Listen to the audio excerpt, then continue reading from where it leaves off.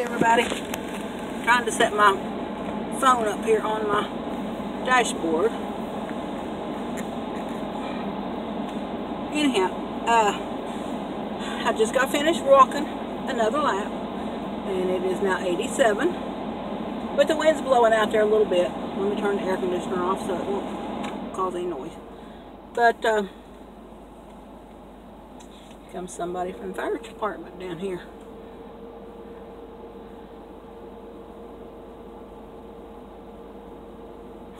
Maybe they're coming to see if I was having a heart attack. no, I know it's not funny. But anyhow, I couldn't leave you all hanging where I left the other video. So just call this a bonus video.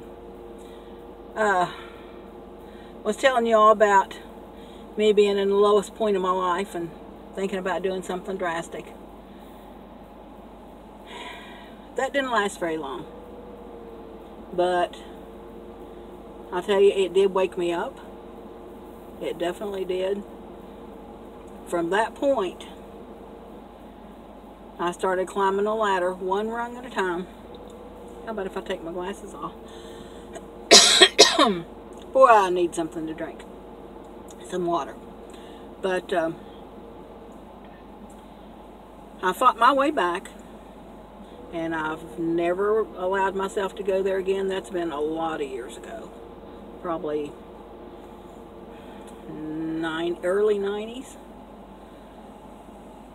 Anyhow, um, my life right now is better than it has been in a long time. I have had to start over from nothing three times. And the way my situation is right now, I'll never have to do that again. Everything that I have right now, I have fought for, I have worked for, and I'll never have to do it again. Yes, I need to get those apartments done. That's why I'm out right now. I went to get some ceiling paint. I've got one more ceiling to paint and clean the bathroom.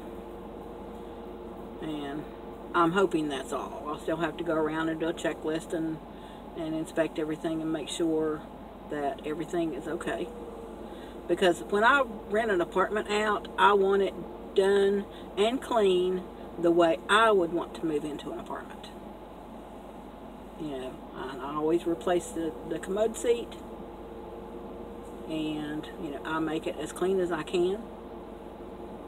I want it to be move-in ready for whoever moves in.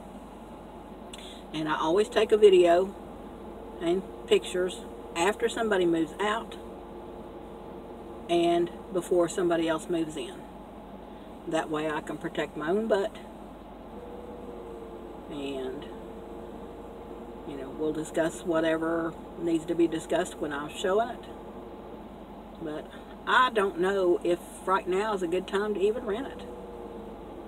With everybody out of jobs and everything, and it's just a bad time. I don't know. oh, my throat is so dry. But anyhow, uh, I'll get it all fixed up and all cleaned and, you know, detail work and whatever needs to be done. And then we'll see what the situation's like. But, uh, anyhow, I don't want y'all worry about me. I am fine. Uh, my life is better right now. Oh, speaking of better, uh, my friend is out of the hospital. And he'll have a long road to recovery, but he'll be okay. But I just want to let y'all know, not leave you hanging. Anyhow, I'm going to get off here. I'm going to turn the air conditioner on.